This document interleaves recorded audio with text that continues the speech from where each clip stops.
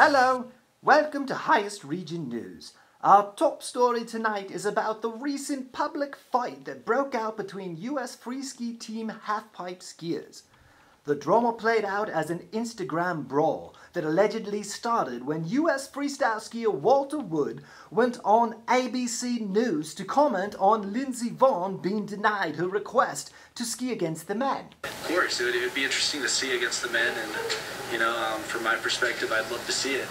Tanner Hall then posted that Wood is the US team mascot. This is when it got ugly. Jackass, the real US free ski team mascot, leapt onto Instagram with this video. What the fuck, Tanner? You trying to put me out of work? I am the only U.S. free skiing mascot. I'm sick of y'all hating. Fuck that, you ain't the best. Sorry to say. Jackass, the US free skiing team mascot, then replied, It is brutal living with these kids. Y'all have no relevance in my mind. Jen Hudak then got into the fray, saying, and I quote, Maybe this isn't hating, but own up to your own fears, jackass. Stop being a hypocrite. Sensing a good fight, the youngest member of the team, Torin Yater Wallace, posted, Are you even on the team? I did not think so. With that, Jackass, the US freeskiing team mascot, carried the fight to newschoolers.com and posted this video. Fuck all y'all.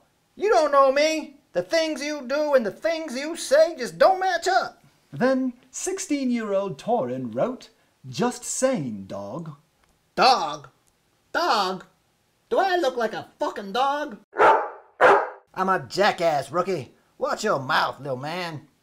The fight then became a new schoolers melee, with pros and amateurs landing ridiculous blows.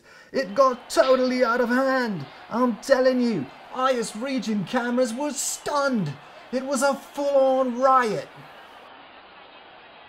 Highest Region News then emailed Walter Wood for his comments and he wrote, I think that it really needs to snow soon.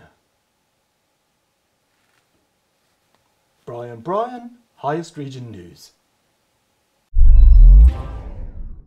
I'm a jackass, rookie.